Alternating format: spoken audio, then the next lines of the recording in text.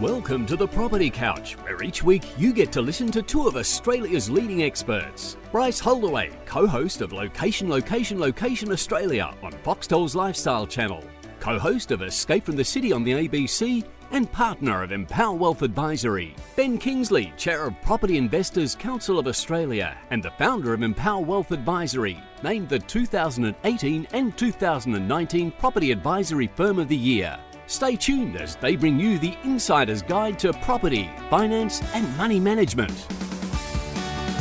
All right, folks, welcome to the Property Couch podcast and welcome back to you this week. Ben, how are you? Good, mate. Yourself? Very, very good. Thank you. Um, we had a, uh, you fulfilled your promise. You said you'd put a bonus episode up. I can't even say bonus so bonus, bonus, bonus episode um, up, which was the top five tax rules every property investor must understand. So there's a couple yep. of things. If you haven't heard it, go and have a listen. It's something you had a chin wag with our good friend Julia Hartman around yep. those top five things, which is really important. But there's also a little cheeky download you can get as well, Ben. There is a little download that just sort of goes into more of the um, data references and and a bit more of the explanation, right? So we kind when you're chatting about things, you try and keep it top level, but if you want to actually get down into the detail, uh, again, Julia is the queen of detail when it comes to all of the work that gets done in that space and the references to the actual tax rulings and all that's all in there. Mm. So if you if you're you know interested in tax and all things tax, you know she's our chief tax advisor for our business. So we absolutely love her and she's very kind in sharing her knowledge with our community. And uh, a little uh, a little plug there. We do have a tax business. It's going well. Lots of people getting maximum deductions on their property portfolio, which was the whole reason we did it in the first place, Ben. But there is a major date coming up um, in a yes. couple of days. Yes, yeah, there is. So basically, it's it's technically the 31st of October, Bryce, but because that falls on a weekend, it's actually the 1st of November. Ooh. Now, what this is, is if you have tax payable um, and you don't have a registered tax agent who's looking after your affairs, your tax return's due. Ooh, um, so I'm keeping it really simple. There's a few more little uh, bells and whistles to that, but there's also some information there that we can we can also uh, guide people to as well in the show notes. But effectively, you you haven't got long if you don't have a registered tax agent, which effectively buys you time. So making sure that you have that tax agent who's doing your tax return. If you haven't got around to it yet, you don't have anything to worry about. But if you do not have a tax agent and do your own returns, uh, they're due. They're mm. due to be submitted um, by Monday, next Monday. Mm. So there you go, Stiggy. Uh, we might ask if you can put a little link in the show notes just to help out if anyone falls into that category and they'd like to register with the tax agent. We'd certainly love to help them. But um, I think what we uh, what we are proud of is the fact that Julia is that um, chief technician for us to make mm. sure that all of our clients can maximize the tax deductions that they are due uh, to Correct. them. There's no point giving the money to the tax department when it's not theirs. They're not no. giving you any interest. And if you, yeah, if you do a refund, this is how this is money, money 101. Get mm. that money back in your offset or get yeah. it into your, you know, into your savings account. So as hard as it is to believe, Ben, there are people who are listening to this who are due a refund, who haven't done their tax return yet, and that money should be sitting on their offset account. We're talking to you, and we're here to help if you need us. There you go. Hey, um, we're doing Q and A day. You and I have been uh, spending the last few weeks going through lots of Q and A, which we love, to, and they're getting lots of really great questions. I want to shout out to people at this point that um, we love SpeakPipe. There's a couple of SpeakPipes today, a couple of ones yep. that have been sent in by email. We get we are across them all, um, but I just want to encourage you to go to SpeakPipe and let us know what are the current questions that you're currently wrestling with that you want Ben and I to cover uh, in one of these upcoming sessions because we're super pumped about it and um, super excited. So um, the propertycouch.com.au. A couple of things when you're there. Go and register for our free book, Make Money Simple Again. Uh, go and uh, do the little widget on the side, which says you can uh, give us a, a question. And no one should be nervous about asking the question online anymore, Ben. With the, you know, in nah. the Zoom, we spend teams. our lives in Teams meetings or Zooms meetings. so I can promise you, leaving a question is easier than being in a Zoom meeting. You press the button, you speak, you and it's just un- audio. There's no video. You no don't video. need to worry about the room you're recording from or the phone you're recording from. All good. And uh, also a shout out to those crew who reached out to the Stig uh, regarding our upcoming summer series, Ben. So um, mm. um, we have got quite a few people who are pretty keen to showcase their money transformations. Um, but just a little um, cheeky shout out to any of the ladies who want to come on board. We would love for you to come and be uh, on. The, I think we're pretty close to full, but I think there might be one spot left. So if you feel like your story is something that we want to hear, we're trying to get diversity across age groups, across genders, across um, stories, across everything, Ben. Love it. Um, so if uh, I think there's one spot, so feel free to go to thepropertycouch.com forward slash my story. Leave your details there. We'd love to hear from you. Um, and a couple of other things too. Uh, I'm uh, on the property couch here. If you want to be part of our team, we're looking for a copywriter. So if you're a copywriter, you know someone who's a copywriter, let us know. And stick around to the end of the questions um, because we want to find out if anyone has a passion to help other people with building property portfolios. Ben, you've got a little announcement that you want to make. Yeah, um, yeah, yeah. Hang for, around for those people. So stick around. All right, so we've got a big, big show ahead of us today. My mind, my can't even speak. My mindset minute theme today, Ben, is yeah. one that I think I've been reflecting on. I think it's pretty good. Um, Lao Tzu, uh, the Tao Te Ching. It's an old Chinese um, uh, text, I think, from the sixth century. Um, I might be wrong, but um, lots and lots of wisdom in it. Lao Tzu, I think I've got that pronounced right. Um, if you are depressed, you are living in the past. If you are anxious, you are living in the future if you are at peace, you are living in the present. And um, I think there's, I think some there's wisdom in that. There is some serious wisdom in that. And and interestingly, the reflection on that is, um, sure, yeah, it sounds like a nice little thing to say, bank that, but it's actually really hard to do to be mm. in the present. It's it's something that you have to be fully mindful around to actually make sure that uh, that you are present. And um, so for those folks who do this naturally and easily, uh, props to you. Um, for those folks who aren't so natural at that, Ben? Oh, um, i fail at this, Ross. Mm. I'm always I'm always future orientated. I'm yeah. always looking at the future. So I'm that anxious person who's looking at the future. So I've got work to do here. Do you still have that um, little bubble uh, Sunday afternoon where you uh, start to get, the, or is that sort of dissipated a bit? Look, it's probably the Sunday afternoon dissipates a little bit more. That the, the, anxiety is just still around the opportunity and potential to serve and help and all of that now. So mm. that's the bit for me that, that that sort of keeps me awake in terms of so many wonderful things that we want to try and do as part of the contribution play. Mm. So, but but that's yeah. So I, I probably don't have that anxiety. I, I still I still have some of it. So you know, I start to wanting to get across work and what's happening come Sunday afternoon. So it's still there. It's still yeah. a piece of work that I have to look after and sort of keep reminding myself to try and be in the present because I'm, yeah, I sometimes struggle with that. Yeah, no, I'm, I'm with you on that. I'm, I'm definitely spend more time in anxiety than depression, but um, uh, yeah. the the living in the moment is something that I am very mindful around at the moment. Yeah. Um, pardon the pun, but um, uh, it's not easy to do. So, if for those of you who do it naturally, props to you. Hey, Q&A day today. We've got lots of questions that we want to get through. The first one is from Alan. It's on email uh, and it's talking about pulling equity out of the house. So, hi, Property Couch team. A question for the podcast. Background Bryce and Ben, I'd like your comments on something weighing heavily on my mind. My wife and I are very fortunate to have bought in Schofields in Western Sydney prior to the 2021 explosive growth period. We paid $740,000 in April 2020 for a four bedroom house on a big plot of land following all of the property couch tick boxes. Our mortgage is just under 500,000. Our plan had always been to buy a family home, keep our buffer in an offset, and pay down the mortgage to under 350k before taking on another loan for investment. Progress has been good, and I thank the Lord for money smarts every day. Forward to September 21, the growth has pushed many of my neighbours to sell we are seeing astronomical numbers. Properties up three to 400,000 plus since April last year. New suburb highs being set on a monthly basis, and more and more agents knocking on the door pushing for stock. I know that this has increased the value of our property through pure osmosis, and we are now unsure of how to plan our next purchase. We want to hold on this property and never sell. We'd wanted to buy another property within a, within the golden hour commute region, but the level of debt required is now nauseating, Ben.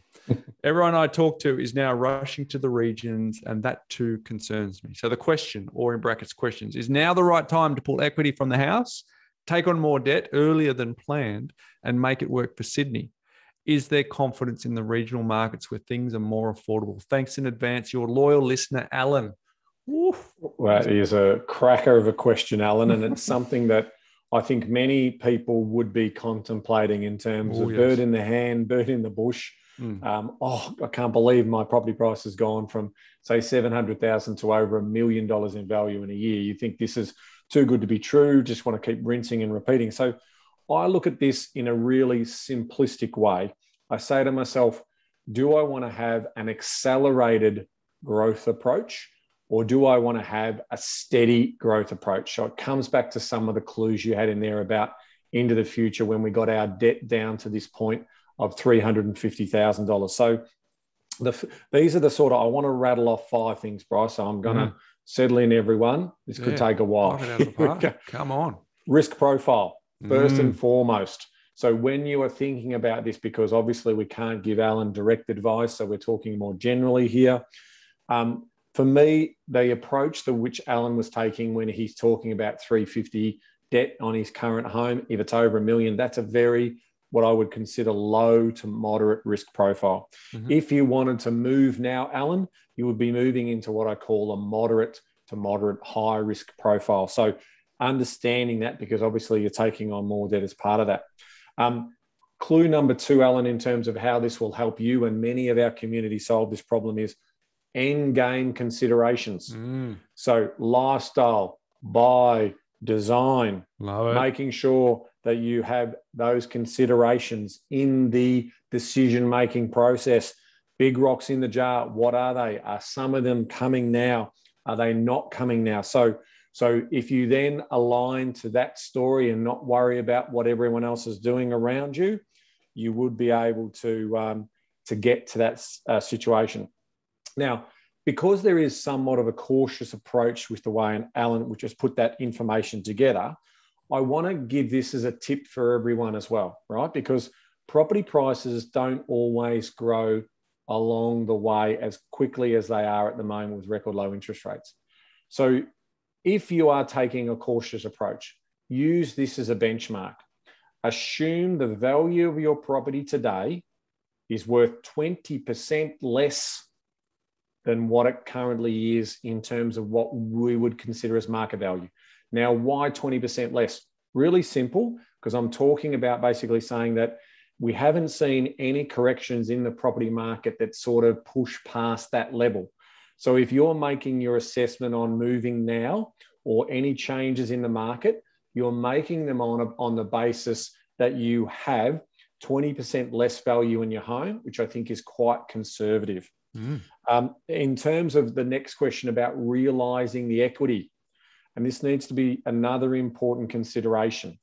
If you are diligent and disciplined and have good records of non spontaneous activity, then releasing equity is very much a part of our dialogue. It's very much a part of the way in which we want to control liquidity. It's a very much big part of that story. However, for those people who don't have that discipline, who can spontaneously um, justify illogically in their minds that, oh, look at all this equity that I've got. I might just go off and buy myself a new speedboat or might go and buy myself the latest Maserati. Um, no, no, hmm. people, that's not what we want to be doing here. So I think it comes down to discipline. So I don't, we don't have a blanket rule here. We want to see people who have that discipline. But if you do have that discipline, getting the valuation of your property at its highest point and releasing out that equity and having that as a liquidity inside offset, assuming, remembering it's not your money, it is not your money, but for future opportunities is um, a, a, a very good strategy for those people who play sensibly. You don't want to bring greed into that in terms of um, that's what I'm talking about there. So they are they are four points. My fifth point here. Um, remember, don't do it because everybody else is doing it. Come back to your story. Come back to what's important to you. Um, because if everyone's doing it, Alan, this is the bubble risk right? So if everyone's basically getting into the regions or everyone's dropping everything to buy property or everyone's dropping everything to buy shares or whatever that is, that becomes over exuberance or what we refer to is irrational exuberance, which can form bubbles in mm. any type of market, whether you're talking about the daffodil, um, you know, uh, bubble. You're talking tulips. about the ostrich, the tul- sorry tulips. Thank you, Bryce. Yeah, but we correct. can do a daffodil bubble if you want. Whatever that is, you know what I'm talking about there. So, so it's really important to understand that at the moment the world is a flush with cheap money, and we're seeing share prices blossom. We're seeing crypto. We're seeing all of these things. So be very careful mm. about that play because if everyone, you know, you hear the great story if the if the taxi driver is giving me share tips, you know, it's the time to basically be cautious. So move all of that aside and just focus on what your game plan is and your strategy. And if that is that you want to accumulate value and you want to grow a passive income for retirement and you focus on those big rocks in the jar and that end game, then I think you can move cautiously forward. And I'm speaking to the community there. Uh, what you don't want to do is get caught up in the excitement um, or the FOMO that can also exist in these types of markets. Very good there, Ben. I think um, uh, one of the things that I like to do at this point is um, be very clear on the on the end game. You, you said it really clearly about the, the lifestyle design, but I think for anyone, if we answer this question for everyone on behalf of Alan, it's um, the answer usually comes back to knowing very quickly what your north star is. What is it that you're trying to do? Because if I'm comparing to you, Ben, and I'm comparing to the neighbor next door, and and we, we just have different things that we want from our lifestyle. Now, you and I have similarities in what we want from lifestyle, but we've also got some differences, right? So Correct. it doesn't it doesn't really matter what you want, Ben, because it, it, it, it's not really relevant to me. There's there's parts of it that are, that are but I, I want to say to Alan, be very very clear on on what that end goal is, because once you are, then if you've got line of sight on what that looks like, then you take on board all the advice that Ben just gave you around the risk profile and the discipline and making sure you're not doing FOMO it really, really helps you. So that's one. Second thing I'd want to do is um, remind all of our listeners, including Alan, is to think of this analogy around the microscope and the telescope. So as a, as a, I was talking to one of the team this morning, one of our buyers agency team, and it it really is about trying to make sure that our clients are always looking through the telescope rather than the microscope because you know, we you know, we're th- you and I are generally thinking at 30,000 feet. Um, quite often people, when they're first starting out, are thinking at 1,000 feet. So at the very least, I'm trying to get them up to 15, 15,000, mm. 20,000 feet just to, just to lift their eyes. So in this case, um, you live in Sydney, you've got real estate exposure in Sydney, and then you made a comment about the fact that um, uh, buying another one in the Golden Commute to have that level of debt would be nauseating, and that's okay. That's that's fair enough. But if you think from the telescope, Ben and I are often saying to people, there's that place over there. See that little section of the globe? It's called Australia. And uh, we reckon you should have a stake in the ground in Australia. And if you can, if you're lucky enough, have a stake in Sydney. Because um, a lot of people can't have a stake in Sydney because it's too expensive. And if you can't, be borderless and look elsewhere. So the good news for you, Alan, is you do, looking through the telescope, at Australia from a distance, up in up, you know, if we're looking at it from the moon, you are lucky enough to already have a stake in uh, in the Sydney market, which is going to serve you well going forward into the future. So of course, I'm leading to the point around borderless here, Ben. So because you can actually buy a second investment property using the equity that you formed, taking on board all the advice that Ben's just given you about making sure it's a considered decision, and then buy into a market around the country that is ripe for some growth, where you can buy an asset that doesn't give you a nauseating level of debt um, because the price is a lot cheaper. So, on, on, you know, as an extension to all of the great things that Ben has just said, I would also remind, in this case, that there's an opportunity to be borderless, and remind yourself that that you you do have a stake in that very important real estate market. Ben and I are spending a professional life trying to encourage our clients to have some form of stake in Sydney or in Melbourne, or ideally both, um, which isn't always possible for a lot of people. So that's something to keep in mind.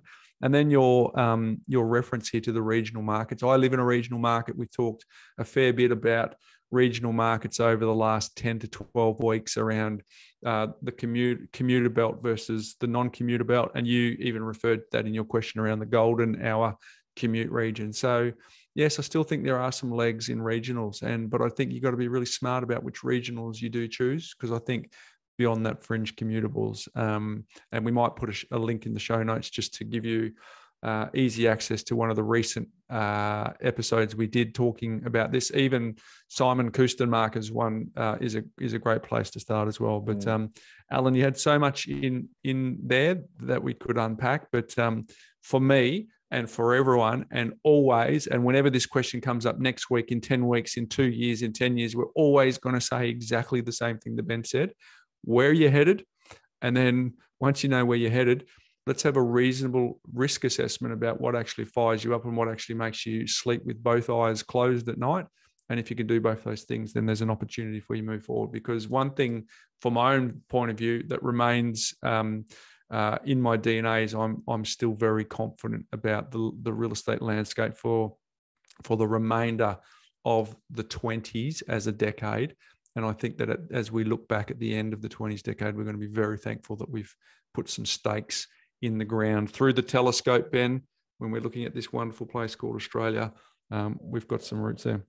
So, um, very good. Love it, Bryce. Love it. Yeah, good question, Alan. I think there's a fair bit in it for not only for you, but for the community as well. So thanks for your question. Hey, this one's from SpeakPipe. So we're going to listen to Wayne, um, uh, and he's going to ask us a question where to buy for retirement. Hi, fellas. Great show. My wife and I are both in our very early 50s.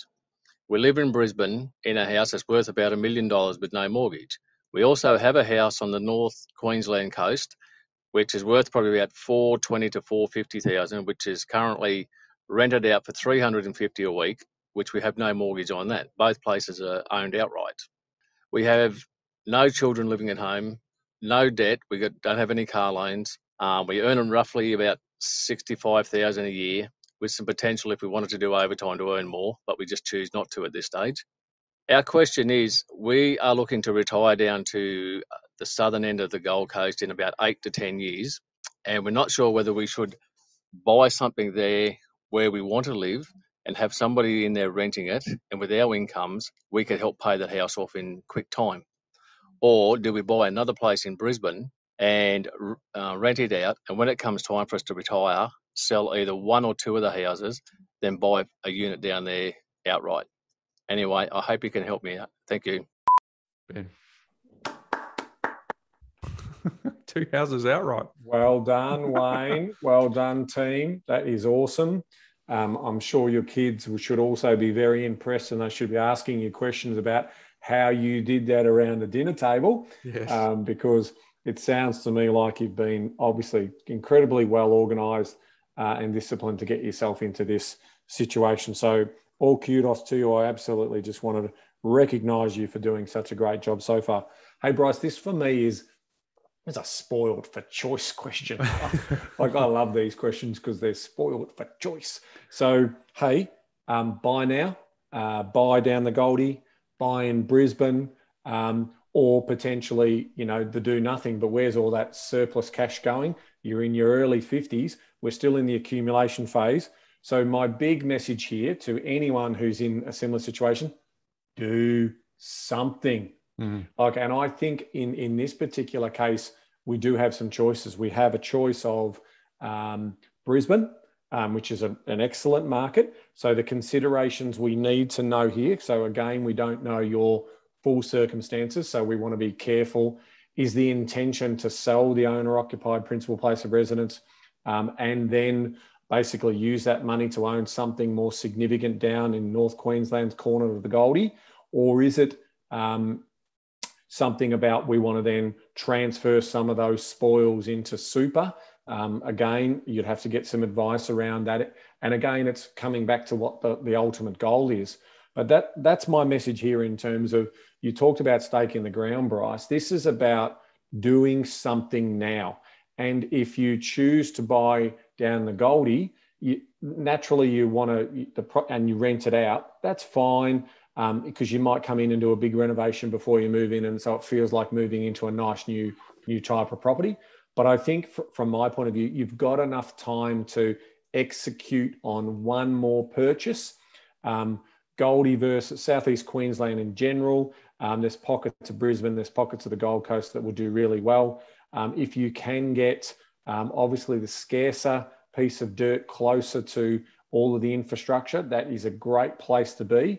but we're also conscious that you've got the say I'm a, um, the assumption is you're about, about 130 household income coming in if it's around 65 each um, and then you've got the rental income coming in on that property so you've still got a, a reasonable amount of borrowing power with no debt there so I don't mind if it's if it's one or the other I will say with the Brisbane purchase if you're then um, thinking of selling it into the future then the reality for that is you're going to come up with capital gains tax and there's also entry and exit costs. So I'm probably on balance leaning more towards heading down the coast and, and getting that, that next future home. Yeah, and the coast the coast is certainly kicked on too because it was lagging yeah. behind Brisbane for a bit there, but now you can't. Um, uh, some of the stuff that we're trying to buy on the Goldie is uh, very very hot, and I think I think the, the two points I picked up too, Ben, and you've said it is whether or not you're going to sell the PPOR and then because uh, that means um, CGT free, which you can then put into something down on the Gold Coast, yeah. or if you weren't planning on doing that, and also the same question around Brizzy. So it's not it's not super clear on that, but um, uh, I think uh, yeah, it's it's nice to nice to have this choice. What I also wanted to highlight is I think there's a there's a key takeaway here around uh, one, of when when we're building a plan for a client, we're trying to actually get them to uh, an almost a similar point as this couple, where there's the four line items: your your living and lifestyle money, your bills and payments, your loan payments, and then your uh, investment costs. So if they've got no debt, pretty much the fourth category investment costs pay for themselves, and they've obviously clearly got a, a penchant for retiring out debt. So there's no reason to suggest that wouldn't happen again. Um, loan payments, no car, no house. There's just there's just no debt anywhere. So that's that's at zero. And then they're currently uh, on an income. You you interpret it as sixty five thousand times two. I have a look at that and go, oh yeah, I could see how you do that, or whether it's sixty five thousand times one. Yeah. Um, but the the interesting part about that is you can see that without some of the without the mortgage payments and without any of the other car loan payments, sixty five thousand, even if it is just that, is a lot of money. Mm mm. um, when it's free cash flow for them. So that's kind of what we're saying to folks when you've when you've retired out the home, when you've retired out the car payments, when you've retired out the mortgage, and the property becomes self fulfilling. All of a sudden, this lifestyle design is actually cheaper than you might have actually thought. Um, so that's that's um, really helpful. But Wayne, hopefully, what Ben has just suggested to you uh, is helpful. I, I tend to concur with him. If uh, if you if you were planning on um, selling Brizzy uh, I'd probably do the Gold Coast as well, so you don't have those recycle costs with the property. But uh, very good question.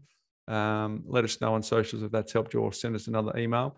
Ben, this one, the next one is from Mel. It's a good story here um, around uh, tips for uh, young people, but also getting amongst it with a dad. So let's have a listen to Mel's question. Hi, Ben and Bryce. Love the show. You guys have been amazing. I actually bought your property course and I have been doing it with my dad. So every weekend we get together and we do a couple of hours, we do one or two modules and then have a chat about it. It's been lovely. Um, me and my dad are buying an investment property together. He's in his 60s and I'm in my 30s. Um, it's to enjoy the process of doing it together, but also for all of the beautiful reasons that you want, you know, for retirement and and income and all of that. So I guess I just wanted to know if you have any hot tips for young players, remembering that he's in his 60s, I'm in my 30s. We've got 70k saved up. We're going to go to a regional town because that's all we can afford and look at buying a house because I think that might have better growth than an apartment, say. Is there absolutely any tips that you want to give? Any hot tips for young players? Like anything at all?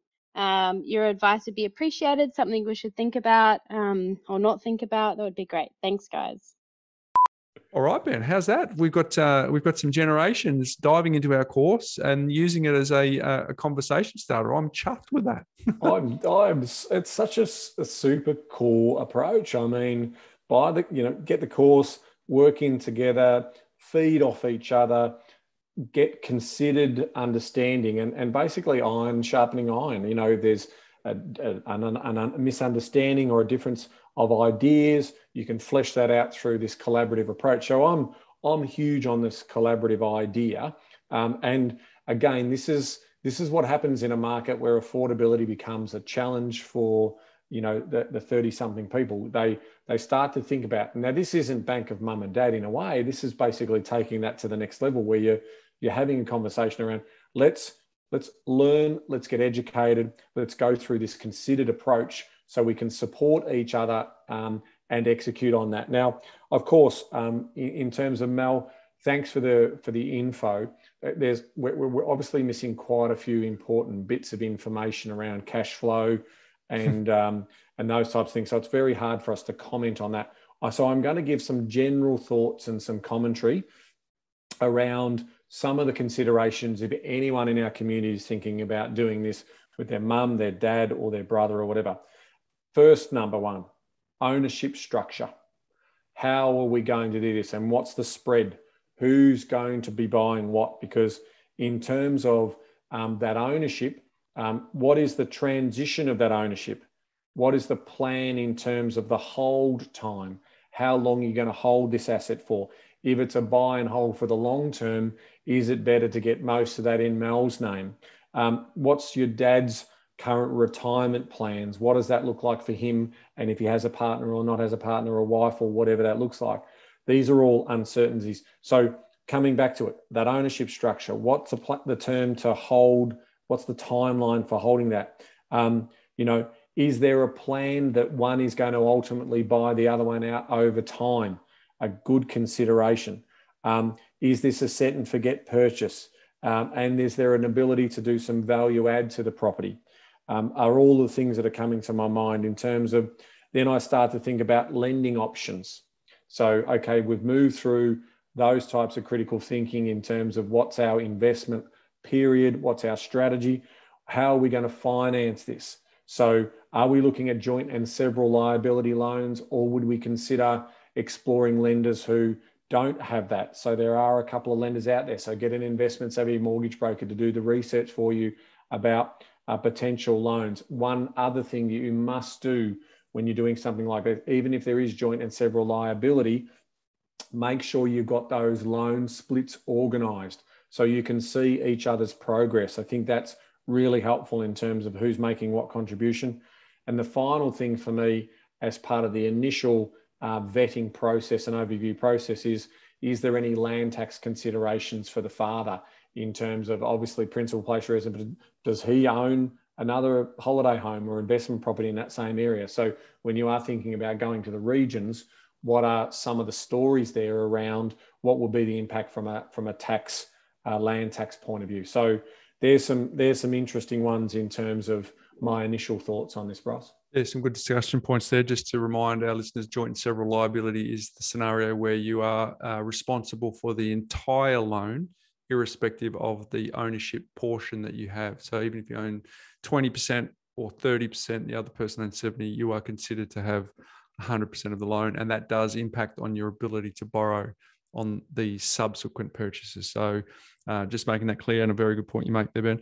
Um, uh, for me, it's um, uh, uh this is the answer for the broader broader community, and then yep. also obviously bring it back to Mel. But you've got to buy houses um, that the banks like, and the tip. The question was, what are the tip for the youngsters? Quite often, the tips for the youngsters are they end up buying whatever they can get into, and they've got to be really clear on buying stuff that the banks like. So you you said you wanted to um, steer away from apartments unless you can buy in the Sydney market where there's good demand for the apartments and good performance. It's probably not a bad idea. You want to go to the regional, so so a house is definitely good, and then creating that that sweat equity um, is is definitely something that you need to consider.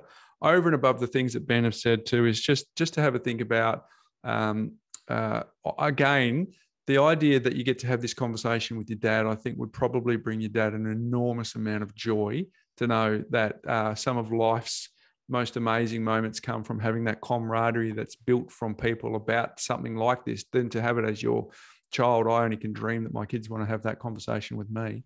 Um, so, so that's that's amazing. But what happens if, for whatever reason, unplanned circumstances, you do one person does need to get out?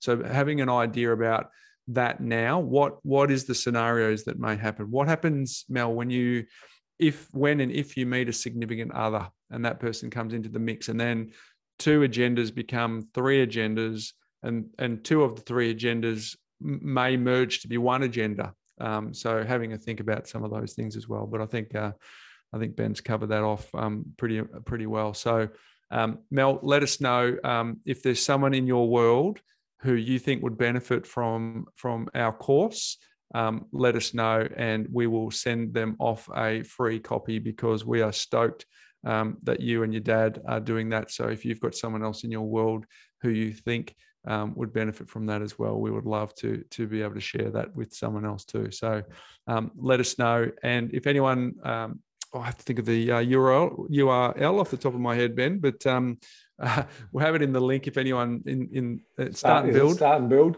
yeah, but I don't know if it's uh, thepropertycouch.com.au forward slash start and build. I haven't. Um, Stiggy, haven't, Stiggy, can you help us? Yeah. Yes. Oh, oh, oh, oh, oh, she's on. She's come on. No, she's no, we can't. She we wants can't, us to restart no. this. No way. We've got to keep that in. So you've just heard from the Stig. So it is the property couch. Wow, that's a first. I know. It's been a while. We haven't we haven't asked for that for a little while because she normally just ignores us. So the propertycouch.com.au forward slash start and build if you want to go and check that out to see what Mel's talking about. But uh, let us know, Mel. That was um, that was very yeah, great question. Um, that was that was that was a good that was a good moment for me and Ben. Just let's say. Yeah, uh, the final question is uh, from on LinkedIn, Ben. So oh, this is from Philip. Um, what you shouldn't do with finance. Let's have a listen to this question. One of the suggestions was what you shouldn't do when starting to look at finance. Too many people focus on what you should do.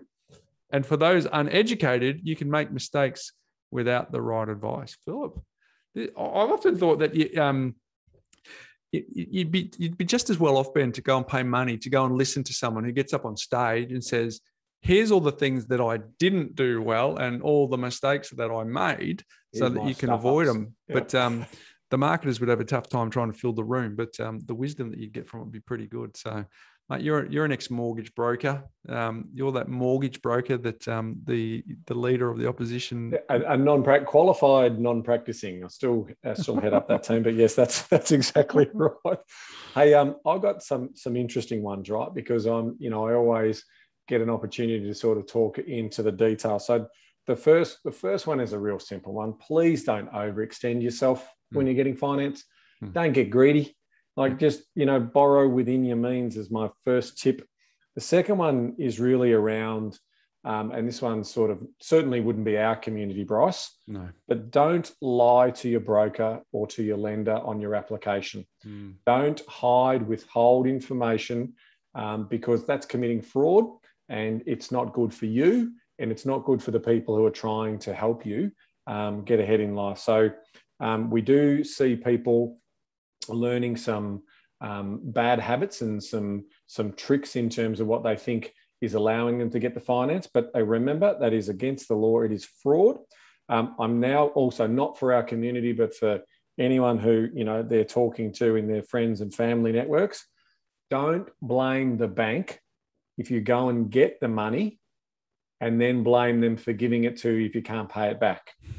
Take some responsibility mm. for the fact that you wanted the money originally. Why did you want it? And also make sure that you have that accountability because that sometimes does frustrate me when I see stories about people saying, well, I went and bought them the fifth property and they should never have given me that finance in the first place. It's like, I get that. But ultimately, why did you ask for it in the first place? Because you got greedy. So be careful there.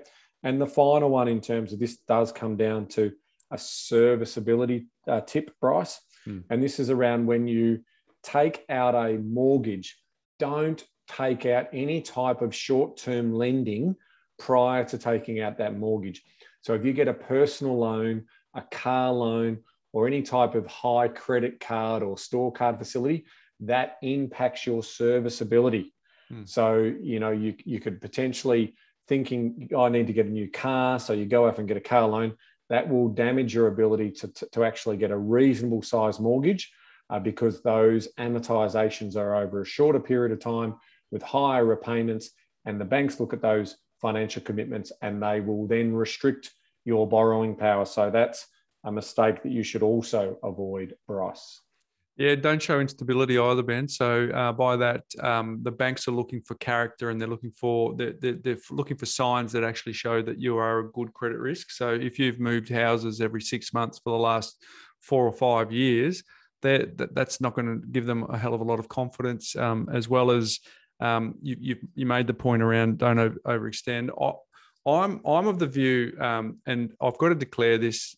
You and I have a mortgage broking business, right? So it sounds like I'm um, not being well. I'm probably not being totally unbiased about this, but I say don't go it alone um, because the finance, uh, the finance, sure, you're borrowing some money, and in return for the borrowing the money, hopefully you're buying an appreciating asset. But the nuances involved in the loan product is um, to borrow our earlier uh, earlier listeners' question. It's nauseating. But then, but then part of the deal for if you if you're doing what we're trying to do, it's build a portfolio of properties, which means more than one. Um, borrowing structure is way more important than borrowing capacity in um, in the bigger picture. If we're doing the telescope uh, analogy yep. again, because yep. we need to be able to set up our next moves based on what we do now, and being able to have that forethought is um, is challenging. And one of my one of my connections is a banker, a very very good banker, Ben. Um, high performing, has great character, looks out for the client. Rings me up and he says, um, "Why why do you?" Um, I've been listening to the podcast and why is it that you suggest people still get interest only lending on their own home when it's a little bit more expensive right now. And so I went through and I talked about the fact that, it got some portability and it also sets up the structure and we're taking the short term pain for the, the medium term. And he goes, up, ah, that's it. That's the penny drop. And, and away he went. Now, this guy is a highly capable, highly competent person within one of the four pillar banks who knows their stuff very well and yet was asking me that question. Um, and I'm not doing this every day because it was all around strategy and structure of the lending was the question, not the ins and outs of getting a loan done because he could do that in his sleep, right? So, um, so my my final point on that is just don't go alone. Use an investment savvy mortgage broker. Yes, that is a biased um, statement because we do have a, an investment savvy mortgage broking business. However, if you're not even using our business, go and use someone else it still remains, Ben. I've got a very strong view that you're better off trying to get someone who's across a number of products in terms of the nuances of loans, plus someone who understands strategy and structure. You are going to be miles ahead than the average person, Philip. So uh, hopefully, well said. Well said. Hopefully, that's given you some insights there. But uh, I want to thank all of our contributors today. Ben, first question was from Alan. Then we had Wayne. Then we had Mel and then we brought it home with Philip, all asking some very, very good questions. I also want to just remind folks go to SpeakPipe, give us some more questions. We love this. We want to hear from you. We can only answer your questions. But Ben, if someone uh, was listening to that and been listening to us for the last little while and they're interested in, in sort of all of this um, puzzle solving and strategy around building out portfolios, what, what do you think they should uh, consider? Well, this is the point I was saying before about, you know, if you if you're looking for a career that's purpose driven, that's people focused and so forth, then um, that's what a qualified property investment advisor does. They are there to effectively problem solve around cash flow analysis and to put the scenarios in front of those clients. So a little shout out, and I know again, I suppose it's a little bit self indulgent for us, Bryce, at the moment, but we have obviously some opportunities opening up in our property wealth planning team. Um, so if you're curious and interested in a career opportunity in here, and let's say you're coming out of, you know, you love the people activity, so you might be in recreational activities, or you might be in hospitality, or you might be in tourism of those areas, and you're looking for a career change, or you're an accountant and a frustrated accountant, you just don't want to do tax, but you want to basically take a bigger picture in terms of helping people then we might have something for you. So if you want to just reach out to us, um, again in the show notes um, for, for some opportunities, please send your details to us and we'll be able to get in contact with you and tell you a little bit more about um, what we're doing because we do have some opportunities opening up as our team um, is expanding in terms of designing people's lifestyle plans and, and planning to become what they plan to become. So that's the area that, that, that um, I'm so passionate about in terms of leading that uh, that whole team on that journey. So if you're interested, uh, please reach out to us. And the Stig will put some uh, a link in the show notes for us, Ben. We should mention again that it was really great to have the Stig make a little uh, feature on the podcast because if we make it difficult for her to edit that To part edit out, out, if we make another reference of it here, she'll be scratching her head. If anyone could see, uh, looks could kill. We'd be dead right now. But Yep. um, we're just we're just ensuring she doesn't edit that little bit out, um, so that she's made an appearance first time in probably 150 episodes. So uh, there we go. Hey, my life hack today, Ben, is um, there is a book called "Have a New Kid" by Friday by Dr. Kevin Leman. I thoroughly recommend it. If I'm if I'm any good at this property game or understanding a bit of money, Ben, I am I am terrible at the parent game. Right, built in the built in the 70s, born in the 70s. And uh, some of my strategies for uh, parenting Oh, are yeah. probably Um, um, right, Oof. right next to you, mate. Right next to you. So I practice what I preach, Ben. I say to people, if you need a skill um, and you're not good at it, you need to go and read and listen. And so I've gone, and, I've gone and found some people who are really good at the game, who are really good at parenting. And this guy uh, is has written about 30 books. It's amazing. I've, I've read a number of his books, but this this book is called a New Kid by Friday, and he's got three simple strategies for success. Number one is let reality be the teacher. Number two, learn to respond rather than react. And number three, B doesn't happen until A is completed. Now, I'd love to deep dive on the first two, but that's not what the uh, the subject of my life hack today is. It's about the third point. B doesn't happen until A is completed. So Jack, the other day, uh, my eldest, he decides that he's um, loving. There's a there's a golf clinic um, around here, and he's loving it. And he gets there, um, does the uh, does the putting one week. Next week, um, they're doing some driving. All of a sudden, the uh, the instructor at the front goes, "Oh, okay, you know, where's your golf clubs?" And he looks at us and goes, "Well, I don't have any." I'm thinking, "Well, sure, mate, but you know, golf clubs are certainly not cheap, uh, even if they are for the juniors." So me and Andrew have the discussion, and we decide it makes sense for him to have uh, these golf clubs, but because it's not like just going to a swimming lesson or something like you, you you got to be all in if you're going to have these junior golf clubs. So I, I thought about where um, uh, Dr. Kevin Leman says B doesn't happen until A is completed. I thought to myself, he he he goes, I'm happy to put some of my own money in to buy the clubs.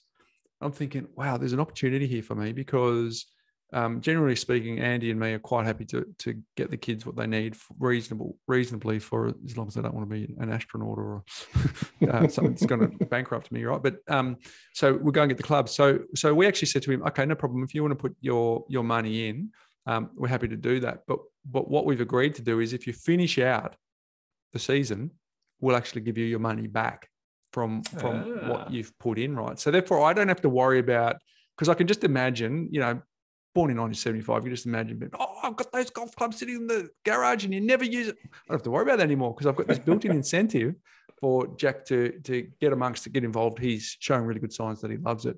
Um, but it also means if he completes it and finishes it as he said that he's planning to do, then there's that incentive. So uh, that's my I life I like it. I like it a lot. today, Ben, told him that we would reimburse, i.e., B, um, when he finishes the season, i.e., A. So B doesn't happen until A is completed. So that's my life hack today, Ben. There you go. Nice one. Nice What's one. making property news? Yeah, a couple of interesting ones uh, this week in terms of we're starting to see some media attention to it. The first one I want to talk about is short term rental accommodation for our New South Wales listeners or people who own short term rental accommodation in New South Wales. Um, you need to know this legislation as of yesterday.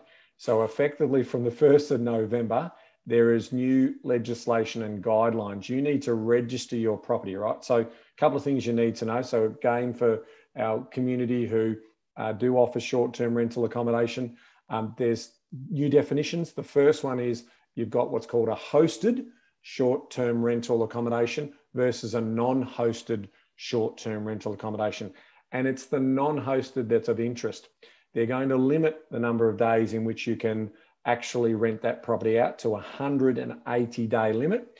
And the other big piece of, of uh, information is the new fire safety standards for the dwellings. You need to have a fire certificate of compliance. If you don't have that, you can't rent your property out on Airbnb, on Stayz, and all of those platforms. Now, the challenge here, Bryce, is that um, from the media reports that are coming out, um, there's about 19,000 people who have had the registration done of potentially they think about 55,000 properties. So if we're talking in the next few days that The this needs to be work. implemented, the, the, numbers aren't quite right. There's going to be a massive rush.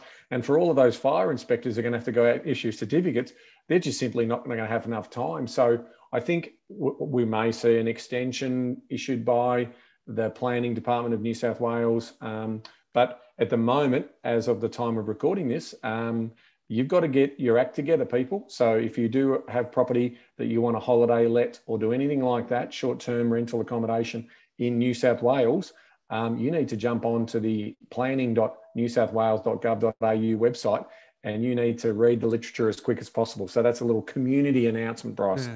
Could be a little body blow too, Ben, because there is a there is a wealth creation strategy where largely originating out of the states, but makes way to here mm. in Oz, where you go and rent properties as the long term tenant, and then you create the arbitrage on uh, renting out short term. So you pay the owner the weekly rate um, as if you're taking a 12 month lease, mm. but you rent it out short term. So if if there are some people who who have done that up until now and then get that that's that's pretty much dropping their opportunity to let by 50% um, so uh, yeah it is material. It is material. Now we, we know that there's some stuff that's going to be reported in the next few days around where rents are going um, mm. because there is some also some some new data that's coming out to say that rents are growing at their fastest rate since 2008 so stay tuned uh, mm. from our good friends from CoreLogic but i thought the other piece of information i just wanted to touch on in terms of what's making property news is around